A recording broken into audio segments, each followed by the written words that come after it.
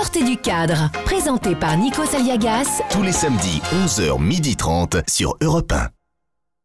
Karl Lagerfeld vous a repéré. Qu'est-ce qu'il a trouvé en vous qui l'a touché?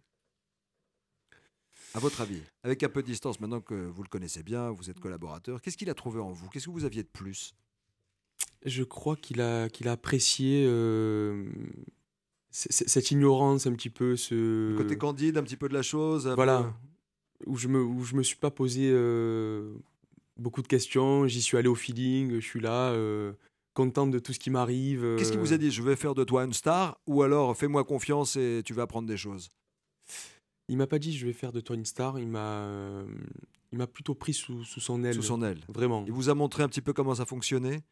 Il m'a montré les, ouais, comment, ça, comment ça se passait, les rouages. euh, voilà, et, euh, Qu'est-ce qu'on apprend avec une personnalité aussi Moi, aussi comme j'ai, comme, comme j'ai, je le dis souvent, je, Karl, c'est mieux que l'école.